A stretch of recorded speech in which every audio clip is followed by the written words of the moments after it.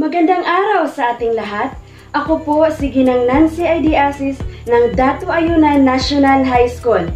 Ako po ang magtuturo sa inyo sa asignaturang Araling Panlipunan sa ikawalong baitang. Noong isang linggo, napag-aralan natin ang hiyograpiyang pantao. Saklaw ng hiyograpiyang ito ang wika, relihiyon, at lahi. Narito ang layunin ng ating aralin. Natatalakay ang mga kadahilanang nagbunsod sa pag-unlad ng kultura sa panahong prehistoric. Naiisa-isa ang mga yugto sa pag-unlad ng kultura sa panahong prehistoric. Napahalagahan ang pag-unlad at mga tuklas sa panahong prehistoric. Nasusuri ang yugto sa pag-unlad ng kultura sa panahong prehistoric. Bago natin talakayin ang ating aralin, atin munang subukang sagutin ang paunang gawain. Suriin ang mga pangungusap sa ibaba, isulat sa patlang ang fact kung ang pangungusap ay katotohanan at bluff naman kung ito ay walang katotohanan. Handa na ba kayo? Game na! Narito ang unang pangungusap. Tila isang puno ang hugis ng kontinente ng Antarctica. Ito ba ay fact o bluff? Pangalawang pangungusap. Mainam manirahan sa mga tabi ng lambak at ilog. Ito ba ay fact or bluff? Pangatlong pangungusap. Ang mga bulubundukin ay nagsisilbing panangga mula sa bagyo. Ito ba ay fact or bluff? Kung ang sagot ninyo sa unang pangungusap ay fact, tama! Dahil tila isang puno ang hugis ng kontinente ng Antarctica. At sa pangalawang pangungusap naman, kung ang sagot ninyo ay fact, tama din kayo dahil mas mainamanirahan sa mga tabi ng lambak at ilog. At sa pangatlong pangungusap naman, kung ang sagot ninyo ay fact, tama kayo! Dahil ang mga bulubundukin ay siya nagsisilbing panangga mula sa mga bagyo. Napakahusay! Para masukat natin ang inyong kahandaan sa ating aralin, subukan nating sagutin ang gawain. Pagtapat-tapatin ang mga katawagan at paliwanag sa pamamagitan ng paglalagay ng guhit sa magkatugmang bilang at titik sa hanay A at hanay B. Sa hanay A, una, Homo sapien, pangalawa, Meso, pangatlo, Numad, pang-apat, Homo erectus.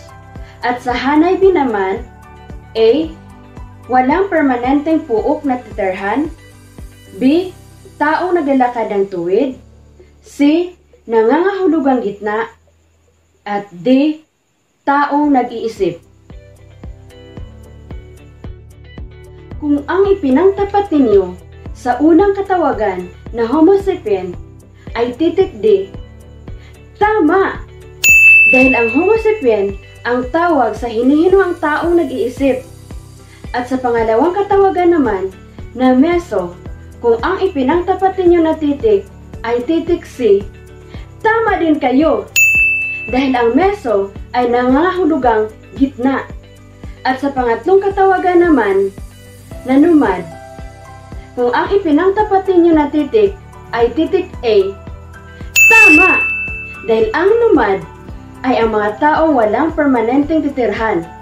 At sa pang-apat naman, nakatawagan, Homo erectus, kung ang ipinangtapat na titik ay titik B, tama din kayo! Dahil ang Homo erectus ay ang mga taong naglalakad ng tuwid. Kung nasagutan nyo ng tama ang gawain, sigurado handa na kayo sa ating talakayan. Ang mga unang tao at ang kanilang distribusyon sa daigdig. Kung pagbabatayan ang ebolusyon, masasabing nabuhay ang mga ninuno ng tao sa pagitan ng 2 milyon hanggang 20,000 before Christian era. Subalit, ang mga unang labi ng pinagmula ng mga ninuno ng tao ay tinatayang labing apat na milyong taon na ang itinagal sa daigdig. Tinatawag itong Procancel at ang mga labi nito ay matatagpuan sa deposito ng Miocene. Isa pang higit na itinuring na malapit na ninuno ng tao ang Australopithecine Unang natagpuan ang mga labi ng Australopithecine sa South Africa at nahati sa tatlong pangkat. Ang Australopithecus na maaaring nabuhay sa pamamagitan ng pagkain ng mga halaman at karne.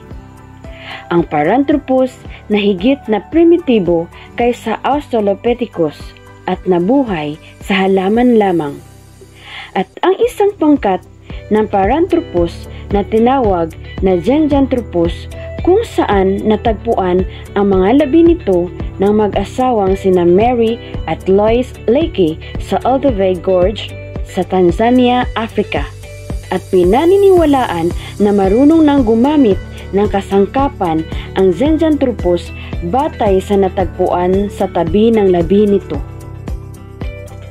Homo erectus ang taong nakatayo o naglalakad ng tuwid at maaaring nabuhay sa silangan at timog silangang Asya, Europe at Africa. Higit na malaki ito kaysa Australopithecine at higit na malaki ang utak nito. Mayroong apat na uri ng Homo erectus. Taong Java Kilala rin na Pithecanthropus erectus. Ito ay natagpuan ni Eugene de Bois isang siyentistang Olandes noong isang libo walong raan isa sa pulo ng Trinel sa Java, Indonesia. Ipinalalagay na may limang daang libo hanggang pitong daan, limampung libong taon ang itinagal nito sa daigdig. Ito ang kauna-unahang labi ng Homo erectus na natuklasan ng tao. Isa pang Homo erectus ang nadiskubre sa Zambia ng isang libo siyam na raan dalawamput isa. Ang taong Zambia nakauri rin ng taong Java. Taong Peking Tinatawag na Sinanthropus erectus pekinensis ang labi na natatagpuan sa Peking, China sa yungib ng Chowkotian noong isang libo siyam na raan dalawamput pito. Hinihinalang natutunan ng taong Peking ang mga gamit ng apoy at ang pagkain ng berry sapagkat natagpuan din sa naging tahanan nila ang mga buto nito. Homo sapiens, ang tawag sa hinihinuang taong nag-iisip. Pinakamatalino marahil ang Homo sapiens sa lahat ng unang tao dahil higit na malaki ang utak nito. Mga halimbawa nito, ang taong Neanderthal at taong Cro-Magnon. Ang mga labi ng taong Neanderthal ay nadiskubre sa mga lambak ng ilog Neander sa Germany noong isang libo walong raan limangput anim. Ang taong Cro-Magnon naman ay hinihinalang maaaring nabuhay noong apat na pung libo before Christian era pagkaraang mawala ang mga taong Neanderthal upang mas maunawaan mo ang naging pamumuhay ng mga sinaunang tao. Pag-aralan mo ang susunod na teksto ng tungkol sa antas ng pag-unlad ng tao, mga katangian at mga katibayang natuklasan. Una, hominid. Nabuhay noong labing apat na milyon hanggang labing tatlong milyon before Christian era. Naglalakad ng tuwid, mas maliit ang utak na may sukat na kalahati ng sa modernong tao. Malaki ang pagkakahawig sa katangiang pisikal ng modernong tao. May taas na apat na talampakan. Pangalawa, Homo habilis, itinuturing na pinakamatandang uri ng tao.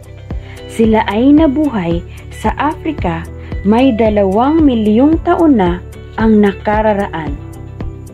Hango sa salitang Latin na homo na nangangahulugang tao at hebelis na ang ibig sabihin ay sanay o bihasa. Mas malaki ang utak at mas maliit ang bagang kaysa Australopithecus. Ang utak ay sumusukat sa halos kalahati ng utak ng modernong tao. Pinaniniwala ang gumawa ng unang kagamitan na yari sa bato bilang panghiwa, pangkayod at pantagtad. Gayon din ang pagkain ng karne, prutas, insekto at mga halaman. Sila ay nakalalakad ng tuwid. Pangatlo, Homo erectus, kilala bilang taong nakatatayo ng tuwid. Tinatayang may taas na limang talampakan, makapal ang bungo, maliit ang ulo at malaki ang panga. Mas maliit ang bagang na hindi gaanong nakausli tulad ng Homo habilis. Ang utak ay halos kasinlaki ng sa modernong tao. Sila ay unang natutong gumamit ng apoy at damit mula sa balat ng hayop at nakagawa ng palakol mula sa bato. Pang-apat, Homo sapiens, taong nakapag-iisip at nakapangangatwiran. Higit na malaki ang utak sa lahat ng unang tao at hindi malalayo sa laki ng utak ng modernong tao. Nabuhay ng halos 300,000 hanggang 400,000 taon na ang nakararaan. Ngayong nalaman mo na ang katangiang pisikal ng mga unang tao, dumako naman tayo sa kanilang naging pamumuhay. Mga yugto ng pag-unlad ng kultura ng mga sinaunang tao, panahon ng bato. Nang makalinang ng kabihasnan ang mga sinaunang tao, sila ay namuhay bilang grupo ng sampu hanggang tatlumpung katao. Tanging pangangaso at pangingisda ang kanilang ikinabubuhay at karamihan ay mga kuweba ang kanilang tinitirahan. Panahong Paleolitiko Sa panahong ito, nakatira ang unang tao sa kuweba upang pangalagaan ang sarili sa malamig na panahon. Katatapos pa lamang ng Ice Age at maaaring kasalukuyan pang nagyayelo sa ibang bahagi ng daigdig at walang permanenteng tirahan o nomadic ang mga tao sa panahong ito.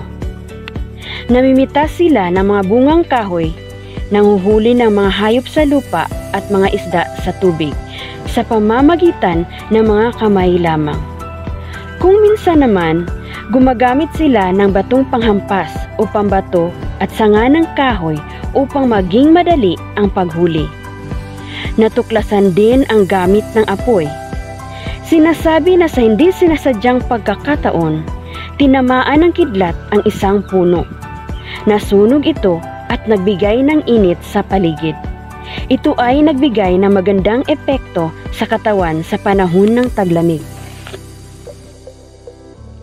Panahong Mesolitiko Tumagal lamang ng tatlong libong taon sa Mesopotamia at kaunting panahon lamang sa Europa ang panahon ng Mesolitiko.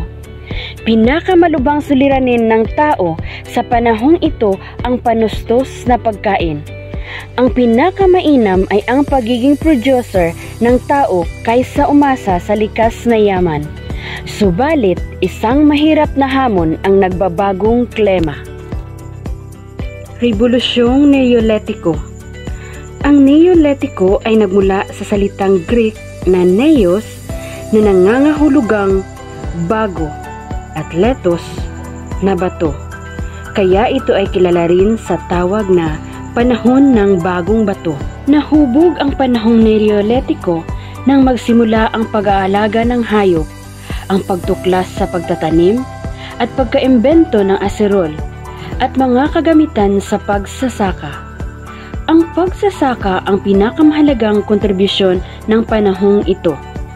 Sa katunayan, umusbong ang isang pamayanang sakahan na tinawag na Katalhuyok na may populasyong mula 3,000 hanggang 6,000 katao. Matatagpuan ang Katalhuyok sa kapatagan ng Konya ng gitnang Anatolia, Turkey sa ngayon. Nagsimula rin sa panahong ito ang pagpapalayok.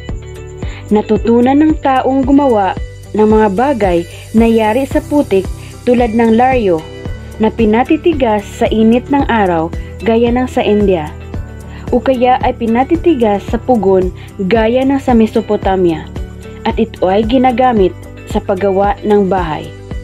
Sa panahong ito, kapansin-pansin ang pagbabago sa kasangkapan ng tao. Pinakinis ang dating magagaspang na bato at ginawang iba't ibang hugis at laki ayon sa kanilang gamit. Pamutol ng kahoy, gamit sa pagsasaka, panghiwa, pangahit, pamutol ng buhok, pamatay ng hayop, armas, at marami pang iba. Lalo pang pinag-ibayo sa panahong ito ang pag-aalaga ng hayop na nasimulan noong panahong Mesolitiko. Ginamit din itong sasakyan o tagahila ng behekulo katulad ng paragos at karwahe.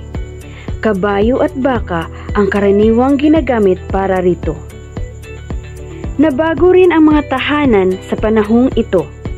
Bagamat nagsimula ang pagkakaroon ng permanenteng tirahan noong panahong Mesolitiko. Higit pa itong nalinang noong panahong Neolitiko. Kailangang tumira ang tao sa isang lugar habang hinintay niyang tumubo at maani ang kanyang pananim. Habang wala pang tag-ani, gumagawa naman siya ng mga palayok at iba pang gamit na yari sa putik. Gumagawa ng paghahabi gaya ng banig, basket at tela dahil mahirap umasa sa mga balat ng hayop upang gawing damit. Para lamang sa pansariling konsumo at sa mga kaanak ang produksyon. Ngunit nang umunlad ang pagsasaka, nakapag-iimbak ng maraming bagay ang tao sa sariling gamit. Dito nagsimula ang pagpapalitan ng produkto o ang sistemang barter. Dinadala ang sobrang produkto sa lugar ng palitan. Kung may kailangan ang tao, pumupunta lamang siya rito upang makipagpalit ng produkto. Nagsimula rito ang konsepto ng palengke. Hindi nagtagal, naging mahirap ang pakikipagpalitan ng produkto. Panahon ng metal Ang panahon ng metal ay ang panahon makalipas ang panahong Neolitiko. Sa panahon nito, ang mga tao ay natutunan ang paggamit ng metal upang lumika ng mga kasangkapang magagamit sa kanilang hanap buhay. Panahon ng tanso Naging mabilis ang pag-unlad ng tao dahil sa tanso. Subalit, patuloy pa rin ang paggamit sa kagamitang yari sa bato. Nagsimulang gamitin ang tanso noong 4,000 before Christian era sa mga lugar sa Asia at 2,000 before Christian era sa Europe at 1,500 before Christian era naman sa Egypt. Tinawag na panahon ng tanso ang mga nabanggit na taon. Nalinang ng mabuti ang paggawa at pagpapanday ng mga kagamitang yari sa tanso. Panahon ng bronze Naging malawakan na noon ang paggamit ng bronze nang matuklasan ang paghahalo ng tanso at lata upang makagawa ng higit na matigas na bagay. Tinawag ang kombinasyong ito na bronze o pulang tanso. Iba't ibang kagamitan at armas ang nagagawa mula sa tanso tulad ng espada, palakol, kutsilyo, punyal, martilyo, pana at sibat. Lumaganap ang paggamit ng bronze noong 2000 before Christian era. Sa panahong ito, natutong makipagkalakalan ang mga tao sa mga karatig puok. Ang pag-unlad ng palengke at kalakalan ang nagbigay daan sa pag-usbong ng mga bayan at lungsod. Panahon ng bakal. Ang mga Hittite, isang pangkat ng Indo-Europeo na nakatira sa gitnang silangan noong isang libu limang daan before Christian era, ang unang nakatuklas ng bakal. Natutunan nilang magtunaw at magpanday ng bakal. Noong hindi pa sila gaanong marunong magmina ng bakal, lubhang mahalaga para sa kanila ito ng limang beses kaysa ginto at walong ulit kaysa pilak. Matagal nilang pinanatiling lihim ang pagtutunaw at pagpapanday ng bakal. Dahil dito, umunlad ang kabiasnan ng mga Hittite at madalas silang manalo sa mga digmaan. Upang lubos nating maunawaan ang ating aralin, sagutin natin ang Venn diagram. Gamit ang inyong kalaman ukol sa kaibahan at pagkakatulad ng panahong Neolitiko at Paleolitiko. Dito nagtatapos ang ating talakayan sa araw na ito. Sana may natutunan kayo mula sa ating aralin. Ako po si Nancy I.D. Asis, pansamantalang nagpapaalam. Magandang araw sa inyong lahat!